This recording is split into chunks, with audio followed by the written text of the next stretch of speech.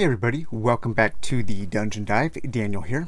Alright, it has been quite a while since I've done a book review, and personally, it has also been quite a long time since I have read a work of cyberpunk. And this book is a quintessential work of 90s cyberpunk, and it is incredible. This book comes highly recommended, and the book is Solis by A.A. Attanasio. So A.A. Attanasio is a he's an author who I think is pretty underrated. I've read two of his other books, uh, Radix, and Radix is somewhat sequel. There's I think there's four books in the Radix series, but you don't really need to read them in order. But I've read Radix and In Other Worlds, I think, and that was like probably over 20 years ago. And I remember both of them being great, and I am going to revisit Radix soon and I am going to read a lot more Attanasio um, this year because everything I've read from him so far has really interested me. And I think he is an author who is on my same wavelength. So when I say this is a work of quintessential cyberpunk, when I was reading this, I kept thinking of two things. I kept thinking of Philip K. Dick's Martian Time Slip and late 80s, early 90s anime like Bubblegum Crisis. And I think if you combine those two things, you would end up with something like this. And if you are into Philip K. Dick or you are into that kind of anime idea of cyberpunk, the cyberpunk filtered through Japanese animation, I think you're going to like Solis a lot. And uh, the little quote on the book says, uh, "This is your brain on cryogenics, on cryogens." Any questions. And uh, the book has a really kind of haunting premise. Um, it's basically about this guy named Charles who dies, and it's at the time of when they're just kind of um, exploring the idea of, of putting a brain into deep freeze when you died to be woken up possibly you know years years hundreds maybe thousands of years later. And that happens to charles. Uh, this character he dies he freezes his brain and then he wakes up thousands of years later, only to find that his brain has been inserted into a mining machine to act as wetware to control a um, mining out in the distant asteroid field. So he has been relegated to the super mundane task. And um, through this uh, he's able to manipulate this machine and he sends out a distress call where he he asks to be saved and this android picks up the distress call and the android and this other human uh, female character they go out to rescue charles his brain and take his brain to mars to this last city of humanity. And hopefully they can get admittance into this city and hopefully they can get um, charles can get a new body grown for his brain.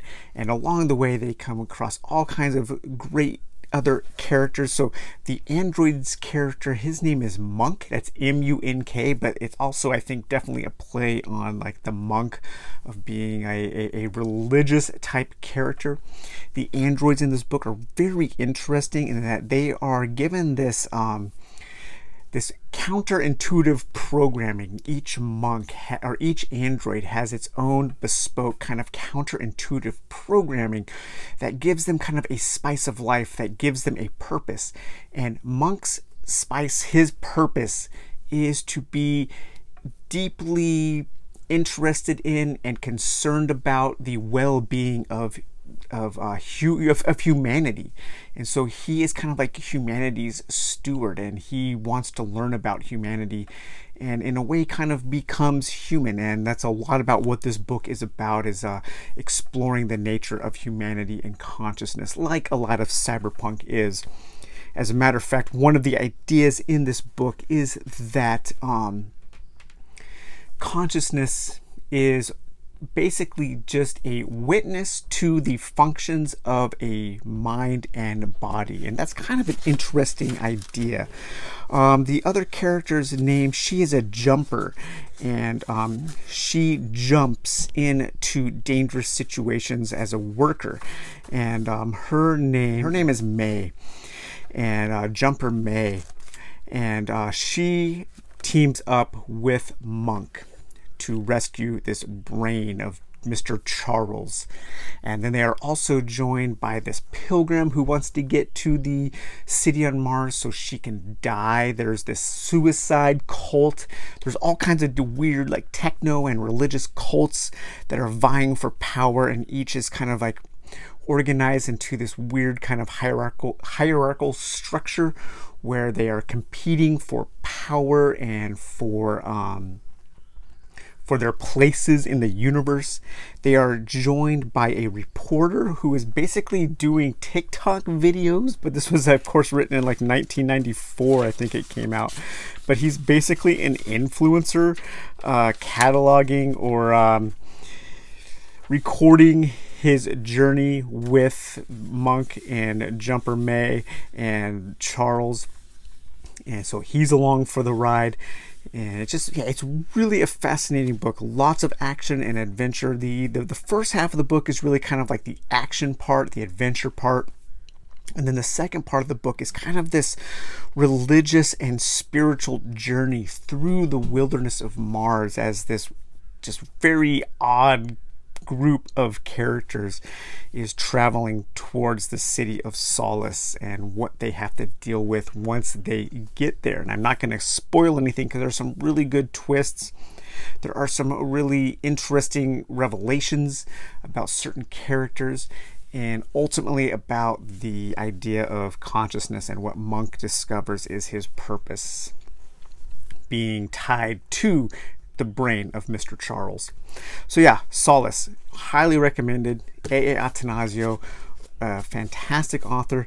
This dude, he lives in Hawaii. He's kind of like this like gonzo surfer cyberpunk dude. He's also written uh, historical fiction, uh, very kind of uh, more on the fiction side than the historical side of uh, King Arthur. Uh, the book I want to read next from him is kind of a um, nautical themed fantasy called Wyvern.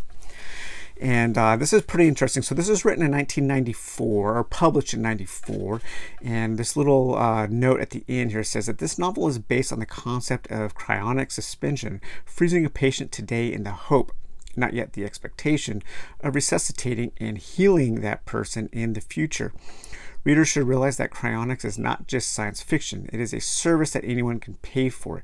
Your brain can be frozen, though to what consequence only the future knows waking up being the wetware for a super mundane machine would be an existence worse than hell, I, I would think. Uh, further details about current cryonic technology are available from the Alcor Foundation. I'd be really interested to see if that foundation is uh, still around. And here's the synopsis from the back of the book Swollen, swollen with dreams, I awoke from the dead. I will say that one thing, if you do choose to read this, is to get through the first few pages of the prelude. Uh, the prelude is is is a little it's it's it's kind of unnecessary. It does set up some things and it has some pretty weird like metaphors going on that don't quite work and i wasn't quite sure. I'm really glad i read past the prelude and gave it a chance because it gets much better uh, so so just just give the book about 10 or 15 pages before you judge it.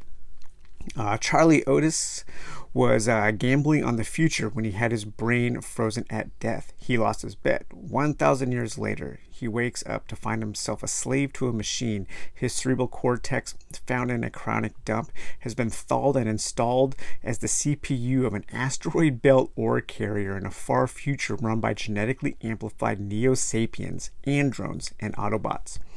But Mr. Charles has a plan. So, yeah, really good book. If you're looking for maybe a, a work of uh, early mid 90s cyberpunk that is a little off the beaten path, a little off the radar, something a little different, maybe something that uh, not always talked about, I do highly recommend Solis. Great book, and I also recommend just in general Attanasio as an author. So, all right, guys. Well, I hope you enjoyed this uh, return to some book reviews. We will be doing more in the future.